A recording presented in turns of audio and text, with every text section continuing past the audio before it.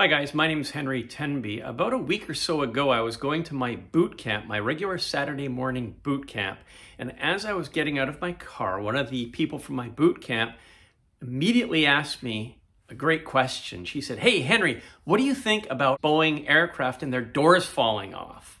And I actually didn't have to give the question too much thought because I already had formed a very solid answer to this question and I'm going to share it with you. And I guess you have all seen all the media uh, fallout that's uh, been presented over the last several months because of these uh, Boeing door issues. And there has been an awful lot of what I call minutia out there explaining what's going on and oh, giving all kinds of little excuses and reasons and explanations and production line floors and bolts and this and that.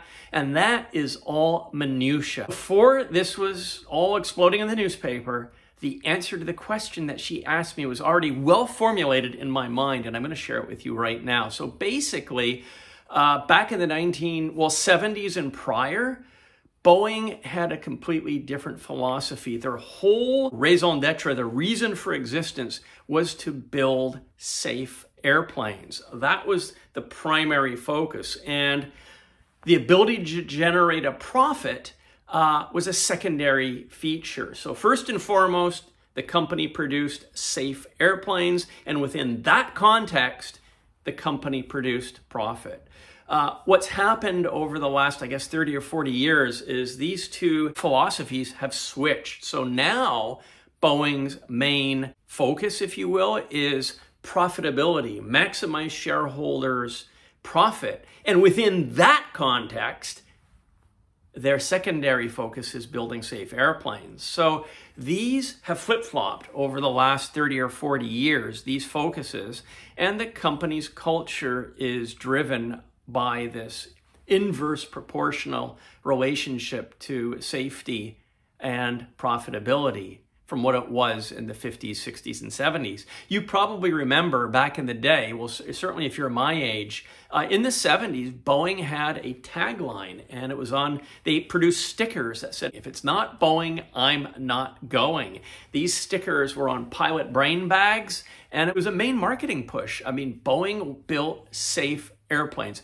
First and foremost, secondary, they maximize profit within that context. Today, flip flopped building airplanes is secondary to maximizing shareholder profit. And of course, that all comes with uh, maximizing bonuses, uh, pay packets for senior executives. These are what I perceive to be the more important things overriding Boeing's modus operandi over the last 30 years, as opposed to building the safest airplane that can be built. So, uh, again, if you go back to the development of the 747, it all had to be done safe. Boeing spared no expense. They spent uh, the equivalent of billions of dollars. They gambled the company financially.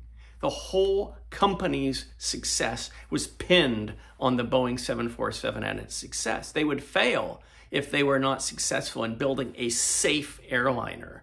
Uh, not it wasn't the other way around that their focus was to become a billion dollar company and super, super, super valuable on the stock exchange. It, that wasn't the focus. The main focus was building the best airplane, the safest airplane they could, and then the profits would follow as, as they would be able to, maintaining the utmost in safety. So the, the company's culture, it's evolved over the last 50 years. And of course, this goes back to the 727, the 707, uh, Remember, in the 1950s, prior to the 707, Boeing was primarily a builder of military aircraft. Even the KC 97 uh, four engine uh, propeller transport was an evolution of the B 29 bomber. So, with the advent of the 707, which is a jetliner, it was built as a military transport that could dual purpose as an airliner. So, the company bet the, their entire existence that they could develop a safe jetliner.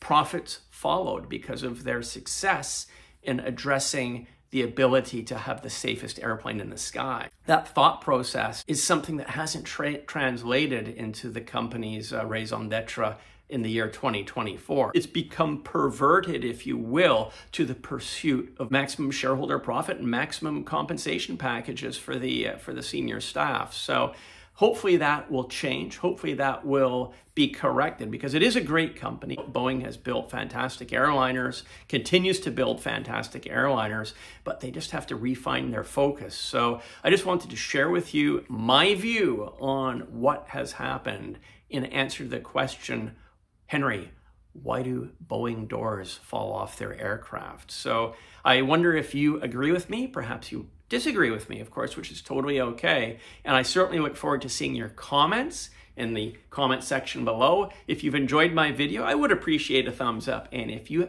are discovering my channel here on YouTube for the first time, hit that subscribe button and you will be a subscriber to the channel. That would be awesome. Thanks for watching my video and I'll see you on the next show. Thanks, guys. Bye for now.